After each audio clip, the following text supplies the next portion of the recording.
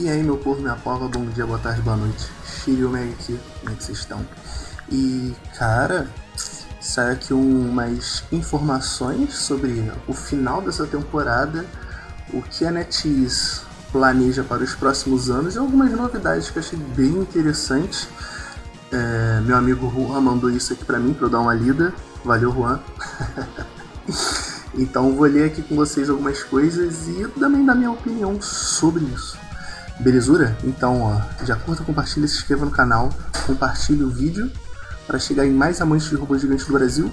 E no final desse vídeo, obviamente, eu vou dar um recadinho aí para quem acompanha realmente o canal, beleza? Então, tamo junto. Lembrando, minhas redes sociais estão todas aqui na, na descrição. Para quem quiser acompanhar mais de perto, tem padrinha, várias formas também de apoiar o canal para quem quiser. Suave? Então, vamos lá. Primeiro ponto importante aqui, cara finalmente temos notícias sobre o final dessa temporada, o que vai acontecer um pouco na próxima temporada e um piloto que provavelmente vai fechar com chave de ouro essa temporada, que é o Nighthawk, o piloto do Raven.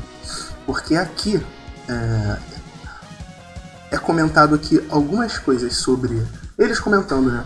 Sobre o desempenho né, da, da temporada que a gente está vivendo agora que eles planejam mais que o final dessa temporada, pelo que eu entendi aqui, vai acontecer o final desse mês. É março, né? A gente tá em março. Eu sempre confundo, cara. Março com maio. A gente tá em março. Pelo que eu entendi aqui, essa temporada vai terminar já no final desse mês. E esse mês já, já tá acabando. Tá ligado? De repente acho que termina é, começo do. É, semana que vem. Essa semana eu acho que não, mas também não sei, vamos ver aí quando vai ter, terminar essa temporada. Mas o importante é o piloto. Aqui não diz que vai ser o piloto do, do Raven propriamente dito, mas diz que um piloto que é muito aguardado vai chegar, vai se juntar a nós na, na nova temporada. Então, o primeiro piloto que vai lançar na próxima temporada, que essa temporada já está acabando, né? Vai ser o Raven. O Raven não, o Nighthawk, o piloto do Raven. Muita gente já vem aguardando ele, eu fico até feliz de receber essa informação. Não é nada certo que será ele, mas é um piloto muito aguardado, é um piloto homem. Faz tempo que não lança um piloto do sexo masculino. então eu acredito que seja ele, porque ele tá para lançar ó, há muito tempo, há muito tempo. Eu não consigo nem imaginar as habilidades que ele tem. Na verdade, eu consigo imaginar uma, mas não sei exatamente se será de mecha ou de piloto. E qual como seria essa habilidade dele que eu imagino? Eu acho que vai ser uma parada tipo aquele hat detector, sabe? Detector de calor. Eu acho que vai ser uma coisa parecida com essa. Não sei quando a gente mata alguém isso tica ou vai ser meio que temporizado sempre quando você fa faz alguma mecânica do jogo ativa, não sei. Eu acredito que vai ser uma mecânica parecida com essa porque ele é assassino, né? Então acredito que ele vai ter uma mecânica assim parecida de, de, de localizar os inimigos para conseguir atacar de uma maneira furtiva ou surpreendente, beleza? Então, primeiro ponto importante é isso. Tirando que eles falaram que vão lançar novos modos de jogo também, né? Deixa eu passar aqui para o próximo slide. E a outra coisa aqui também, eles estão falando é, coisas que a gente já sabe, né? Sobre Origo Slide. Que Aqui nesses comentários a, Rico fala que é, desde quando lançou o mapa novo sempre tem feedback, vamos dizer assim, negativo sobre o mapa estar tá instável e tudo mais, perere parará, coisa que está todo mundo familiarizado. E a, a resposta que eles dão é basicamente essa, que eles estão focando na otimização do mapa desde que lançou. Eles estão se esforçando continuamente para deixar o mapa estável, para melhorar a nossa experiência é, como como jogador, sabe? Melhorando a otimização, melhorando performance, diminuindo erros. E assim, desde quando o mapa lançou até a última vez que eu joguei nele, eu admito que melhorou bastante. O mapa principal melhorou e o Audio Slide também melhorou bastante. Tá o ideal? Não. Às vezes você abre a mira e o jogo trava e fecha. O jogo às vezes fica lento do nada. Eu ainda não postei no YouTube, mas teve uma partida de caramelo que o jogo travou muito, muito, muito travou de tal modo que tinha um Doomlight na minha frente, o Doomlight sumiu. O Doomlight sumiu. Eu, eu, eu vi o tiro do Doomlight, eu vi as torretas do Doomlight. assim nas costas do Light, sabe? Mas eu não vi o do Light. Eu dava tiro e acertava. Parecia que era bug, parecia que era. Aliás, parecia hacker. Mas aí eu pensei, não, mapa novo, acho que é só bug, não é hacker, sabe? É porque o cara que estava jogando comigo aparentemente estava vendo o Light, eu que não estava vendo. É um mapa muito bugado. Mas enfim, o importante é, eles estão é, melhorando o mapa. Isso já é muito bom e para quem joga sempre deve estar tá notando isso também. Como eu disse, não é o ideal, mas melhorou bastante, beleza? E agora aqui, deixa eu voltar aqui. Tá, beleza. Aqui também é um comentário muito importante sobre o modo Battle Royale. Porque desde quando eu jogo esse jogo, as pessoas pedem por um modo Battle Royale privado. Porque a gente pode criar Iron Arena privada, a gente pode criar vários modos de jogo privado, mas não pode criar Battle Royale. E aqui pergunta sobre isso. Sobre essa pergunta, tipo, vai existir um modo privado de Battle Royale no futuro? E aparentemente não vai ter. Não vai ter nem tão cedo. Aqui a resposta é basicamente que para para administrar um modo Battle Royale exige muito, muito esforço, sabe? De, de recursos. Provavelmente é servidor, otimização de jogo, várias coisas, sistemas assim que rodam é, em nuvem, sabe? Porque é um sistema de internet, né, de conexão, então exige é, algumas coisas para conseguir rodar.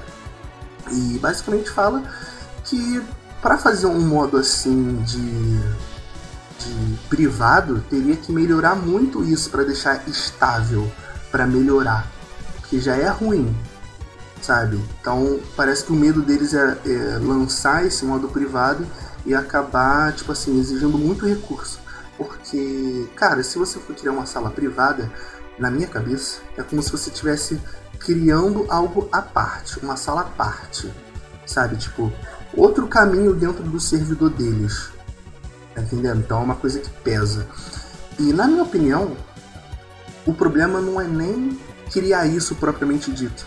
Mas, é, na, na, minha visão, na real, isso aqui é, é, é muito mais questão de. Como que eu posso dizer? Quantidade de jogadores tem muito pouca quantidade de jogadores. Não tem por que você fazer isso. Seria legal, seria interessante, é, mas já tem pouca quantidade de jogadores. Então você vai criar uma sala privada. Além de segregar mais ainda, você vai acabar exigindo muito mais do servidor. Então isso é ruim. Sala privada tem no servidor chinês, mas lá também tem uma quantidade enorme de jogadores. Eu não sei quantos a mais tem, mas tem muito, muito, muito, muito mais. Então lá é tranquilo fazer isso. Porque você tem muitos jogadores injetando dinheiro dentro do jogo, o que ajuda a manter esse servidor lá. E você tem uma quantidade de jogadores, vamos dizer assim, mais regular. Então, mesmo você segregando, criando salas privadas, ainda vai ter uma quantidade legal assim de jogadores. Então, na minha opinião, é essa. O problema é de, vamos dizer assim, de manter o servidor estável. É um problema de manter o servidor estável, de, é, de otimização e tudo mais. Sim, é um problema. Mas na minha visão, o problema é muito maior de, de quantidade de jogadores em si. Eu acho que isso é uma coisa que eles não comentaram aqui, justamente porque eu acho que é uma coisa que pega muito mal, né? Você falar disso. Beleza? Agora, outra coisa que eu achei sensacional, sensacional. Isso vai para todo mundo que fala que o Super Mecha tá morrendo. E com certeza não está. E o que, que é?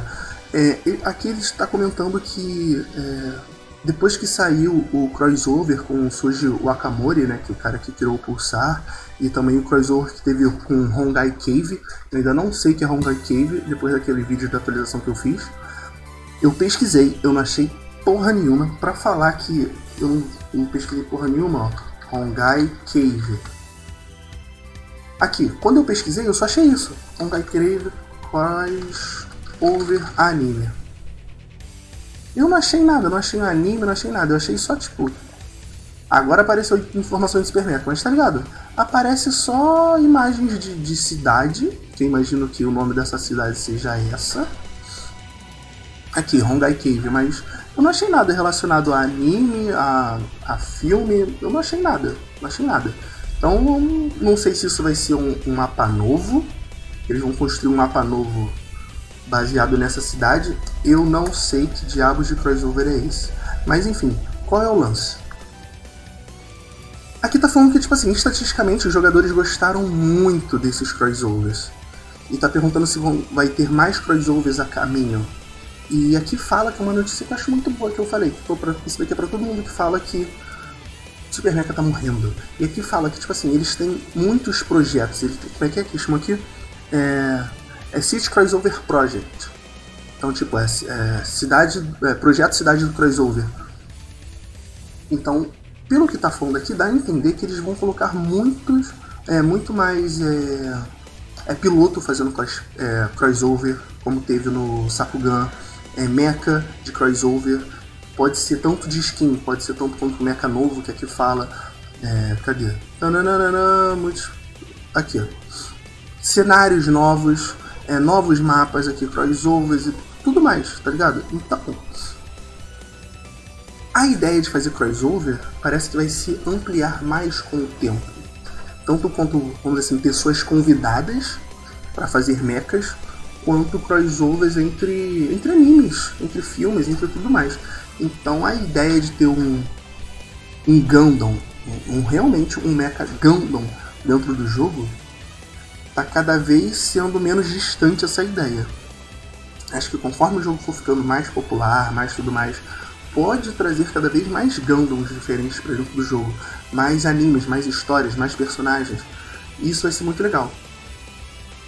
Acredito eu que se esse jogo crescer muito, tipo, muito mesmo, pode acabar sendo um Fortnite da vida, tá ligado? Tipo, que faz parceria com a Marvel para botar personagem, é, DC, filme, atores, várias coisas. E é uma coisa muito legal aqui que fala, sabe? É, é importante isso. Pra, na minha opinião, é muito importante. E interessante, porque dá a ideia que eles estão é, não só investindo no jogo, mas querendo expandir mais o jogo. É um jogo sensacional, né? Ele peca só na, na, na otimização do próprio jogo, mas cara, esse jogo é, é perfeito, é perfeito. Agora, é, cadê, cadê, cadê? Deixa eu dar um zoom aqui que eu já não estou conseguindo ler. É, não, aqui, aqui voltou pro começo. Acho que é, não tem mais nada não. Mas resumindo é isso, cara. As próximas temporadas vão ter mais modos de jogo, vão ter mais é, eventos diferentes também. O começo da próxima season, ou o final dessa, vai lançar um piloto novo, Homem. Provavelmente, e é um piloto homem muito aguardado. Provavelmente é o piloto do Raven, o Nighthawk as ideias de crossover vão se ampliar mais e mais. Oregon Island vai continuar sendo otimizada. E, cara, é isso. Eu tô muito, assim, feliz vendo isso, porque mostra que a empresa tá cada vez mais tendo um cuidado com a galera, sabe? Tá cada vez mais ouvindo o público e fazendo é, otimizações necessárias, beleza? E agora o que eu falei que eu queria falar com vocês é o seguinte. É... Cara, eu tô meio sumido. Eu não tô fazendo live direito. Acho que tem umas três semanas que eu não faço live direito. Por aí. Eu já tava meio sumido, aí eu reapareci e voltei a sumir. E é isso que eu queria falar com vocês. Porque eu comecei a trabalhar. Eu comecei a trabalhar. Eu agora, por exemplo, estou em horário de trabalho. Gravei, estou gravando esse vídeo aqui corrido. Porque terminando esse vídeo aqui tem que fazer algumas coisas. É um trabalho. E, cara, eu tô muito corrido de tempo tá brabo demais, tá brabo demais. Mas eu quero dizer que mês que vem eu vou fazer o que? Alguns eventos, né? Vou tentar reorganizar, reviver a ideia do torneio, mas dessa vez eu vou ampliar muito mais a ideia para fazer com que mais pessoas consigam participar. E só de pensar nisso eu tô muito animado, tô muito feliz. Queria dizer aqui para vocês aqui de primeira mão que dessa vez vai rolar Ainda estou elaborando melhor ideia. Provavelmente vai ser no mesmo modelo dos moldes do torneio Miau, mas com algumas diferenças importantes, porque eu quero trazer ainda mais jogadores e público para o Super. Eu quero fazer esse jogo crescer e eu quero fazer esse jogo crescer da, da maneira que eu consigo. Sabe qual é? Das formas que cabem no, no, no meu poder, na minha, na minha mão, na minha capacidade. Então é isso. Eu tô meio sumido, eu tô tentando voltar aos poucos. E mês que vem isso vai começar a rolar. Beleza? Então é isso. Acho que não tem mais nada para dizer. Só É isso, é isso. É, acho que não tem mais nada. Eu já falei tudo que queria falar, falei da nota, falei do meu sumiço e o porquê dele. E é isso, ó. Beijo, se cuidem, curtam, compartilhem, se inscrevam no canal. Até o próximo vídeo. Beijos.